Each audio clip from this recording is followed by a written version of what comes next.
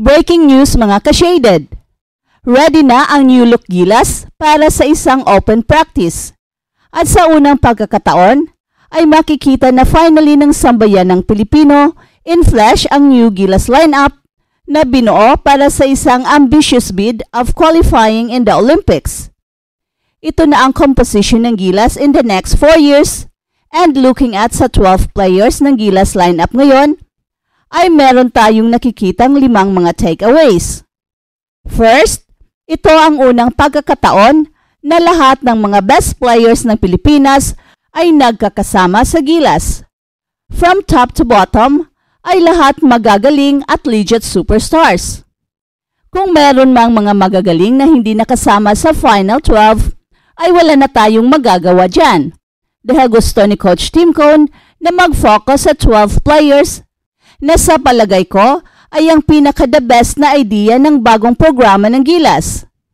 Sa ganitong paraan, ay lahat wala ng alinlangan na baka makat sa final lineup kaya kitang-kita naman sa excitement ng lahat ng mga players na all-in silang lahat. Alam kasi nila na secured na ang kanilang spot sa Gilas for the next 4 years. Pangalawa, youth. Half of the team ay 25 years old and below pero kahit napakabata pa nila, ay napaka-experienced player na lahat. Kagaya na lang ni Dwight Ramos na ilang taon nang naglalaro sa national team kasama sina AJ Edo, Carl Tamayo, Kevin Kiambao, and of course Kai Soto. Third, ang pinakitang excitement ni Kai Soto dahil in my own recollection, this is the first time since 2019 na sa first day pa lang ng practice ay dumating na si Kai Soto. Siguradong naintindihan ni Kai Soto at ng kanyang team kung gaano kalaki ng gagampan ng role niya sa Gilas in the next 4 years. And in fact, merong narratives ngayon na baka si Kai Soto na ang magiging main man ng Gilas in the next 10 years or more, especially under the system of Coach Tim Cone na crucial ang presence ng isang big man. And so far, so good. Dahil mukhang sa unang sabak pa lang ng gilas under Coach Tim Cone, ay malaki na kaagad ang magiging role ni Kai Soto, primarily because of the injury of his fellow big men na sina AJ Edo at Chunmar Fajardo. Fourth, ay ang presence ng mga best PBA players. Kung noon ay kontento na ang Gilas na kumuha lamang sa dalawa o tatlong PBA teams, ay malaki na ang kaibahan ngayon. Talagang kinuha lahat ng mga best players sa PBA, led by Junmar Fajardo, the only seven-time PBA MVP. Nandyan rin ang newest PBA Best Player of the Conference awardee na si Sergi Perez at ang face of Barangay Hinebra and former MVP na si Scotty Thompson. At si Jamie Malonzo ang slam dunking guard ng Barangay Hinebra. Kasama rin si Chris Newsom ang best player ng Meralco Bolts at ang most promising player ng TNT Katropa na si Calvin Oftana. Wala nang mga overrated players at lahat na sa kanilang peak ng kanilang PBA career. Although kasama pa si Japit Aguilar, pero hindi naman pang matagalan ang kanyang paglalaro sa gilas dahil he is no spring chicken anymore. And lastly, ay pati si Justin Brownlee ay nakuha pa ni Coach Tim Cone. I consider it a miracle dahil alam naman nating lahat ang nangyari. Yet on time ay lifted na kaagad ang kanyang suspensyon in time sa first window ng FIBA Asia Qualifiers at sa pagsisimula ng gilas ay napakalaki ng gagampan ng role ni Justin Brownlee dahil alam na niya ang style ni Coach Tim Cone at isa siyang positive influence sa team dahil para na rin siyang coach inside the floor. At lahat ng mga ito will contribute sa guaranteed success ng team going forward. At hindi rin natin kalimutan ang leadership na madadala ni Coach Tim Cone na siyang in charge sa Gilas for the next 4 years. Ito na siguro ang pinaka-challenge ni Coach Tim Cone sa buong coaching career niya. And his biggest achievement so far ay ang pagiging Asian Games Golden Coach, something na siya lang ang nakakagawa in the last 50 years. Kaya there is no reason not to trust Coach Tim Cone. He is the best for the job. At malaking tulong rin ang pagsamasama ng lahat ng mga basketball stakeholders. Over and above ay ang pagsanib pwersa ni na Boss Manny V. Pangilinan at Boss Ramon S. Ang upang buuin ang best possible lineup para sa Gilas for the next 4 years. At magsisimula na ang laban ng Gilas sa pamamagitan ng isang open practice na libre para sa lahat.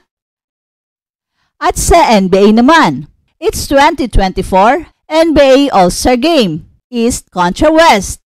Yan ang ating pag-uusapan ngayon. Pero bago yan, para sa mga bagong pasok pa lang dito sa Shaded Lane, ay pakisampal naman po si subscribe button at pati na rin si like button ay pahirit na rin. Salamat po.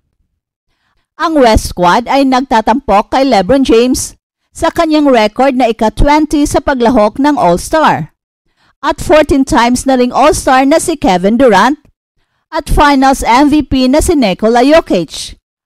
Ang rooster ng East ay kinabibilangan ng mga stars ng Milwaukee Bucks na sina Giannis Antetokounmpo at Damian Lillard, pati na rin si Tyrese Halliburton na maglalaro sa harap ng kanyang sariling mga fans sa Indiana Pacers sa kanyang unang laro bilang isang starter at ang MVP ng laro ay bibigyan ng Kobe Bryant Trophy.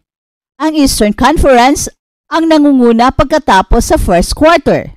Nagpakitang gilas si Indiana Pacers guard Tyrese Halliburton sa kanyang home court sa Gainbridge Fieldhouse at nagtala siya ng kanyang unang limang three-pointers at nagbigay ito sa Eastern Conference All-Stars ng maagang pangunguna sa first quarter laban sa Western Conference All-Stars 53 to 47.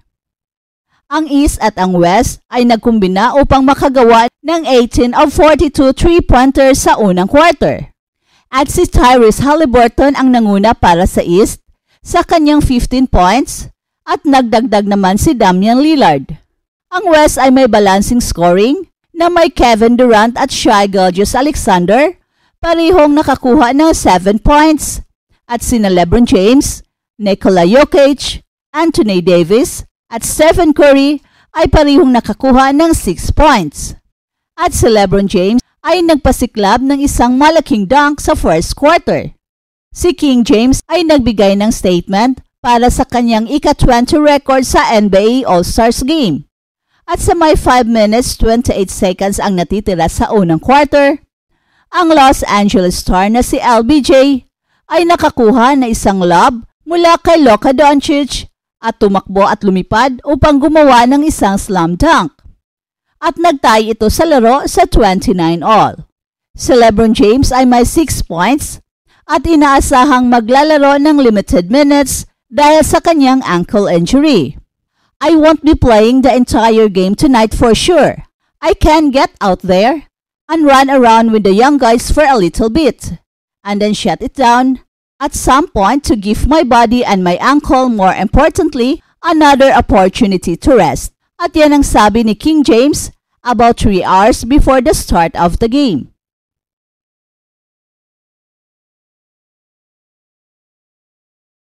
We were losing hope all the way through. Right?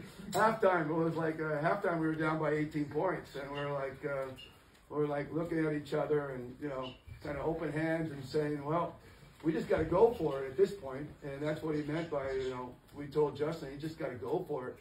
Um, you see op- openings, attack, go. Um, I, I yeah, I left, I lost hope all the way through there until the last uh, what 30 seconds or 23 seconds. I thought for sure we are going to lose that game. So, uh, um, but the good news is.